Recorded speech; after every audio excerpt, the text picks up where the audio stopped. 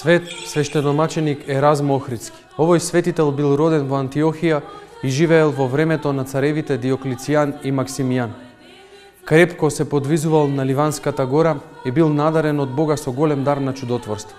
Како архиереј тргнал да го проповеда Евангелието. Стигнувајќи во градот Охрид, Еразмо со молитва го воскреснал синот на некој човек по име Анастас и го крстил. Во таа прилика Еразмо покрстил и многу други незнабошци и ги разорил идолските жртви во Охрид. Поради тоа бил обвинет кај царот Максимијан, кој во тоа време престојувал во Илирија. Царот го извел пред бакарната статуа на Зевс, му наредил да принесе жртва и да му се поклони на идолот. Свети Еразмо пројавил сила и од идолот излегла страшна ламија која го исплашила народот. Повторно светителот пројавил сила и ламјата умрела. Тогаш светителот го проповедал Христа и покрстил 20.000 души. Огорчениот цар наредил да ги исекле сите овие 20.000 души, а Еразмо го ставил на тешки маки, па потоа го фрлил во самица. Но му се јавил ангел Божи како некогаш на апостолот Петар и го извел Еразмо од самицата.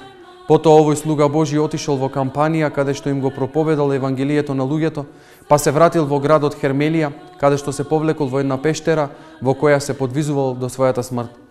Пред смртниот час три пати се поклонил кон исток и со подигнати раци се молел на Бога за Бог да им ги опрости гревовите и да ги дарува со вечен живот сите оние кои со вера ќе го повикуваат неговото име. По завршувањето на молитвата се чул глас од небото, нека биде како што молеше исцелувачу мој Еразмо. Сиот радосен светителот уште еднаш погледнал во небото и видел венец на славата како се спушта кон него и видел хорови на ангели, пророци, апостоли и маченици кои приоѓаат да ја примат неговата света душа. На крајот извикал, Господи, прими го мојот дух и издивнал околу 303 година.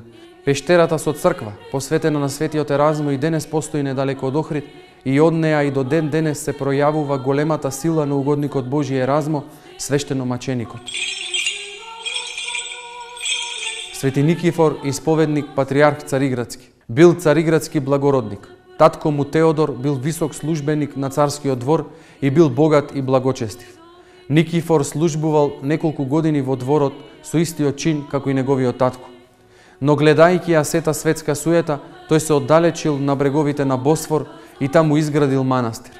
Манастирот навргу се исполнил со многу монаси, а тој управувал со манастирот не сакајќи самиот да прими монаштво под изговор дека е недостоен иако во се им служел како пример на сите.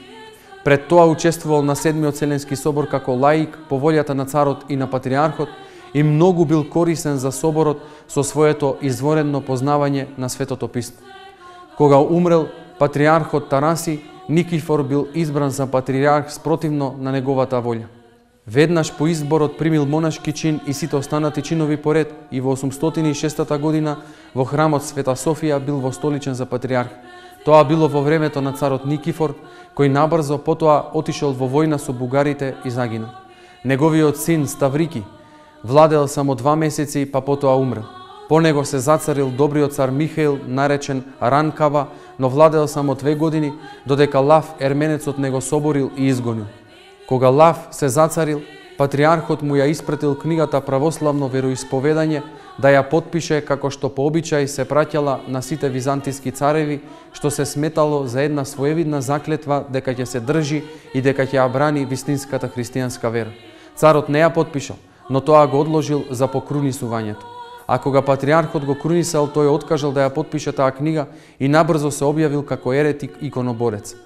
Патриархот се обидел да го посоветува и да го врати кон вистинската вера, но се било залудно.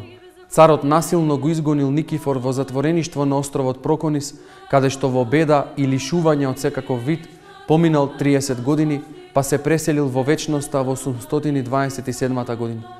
Како патриарх со црквата Христова управувал 9 години.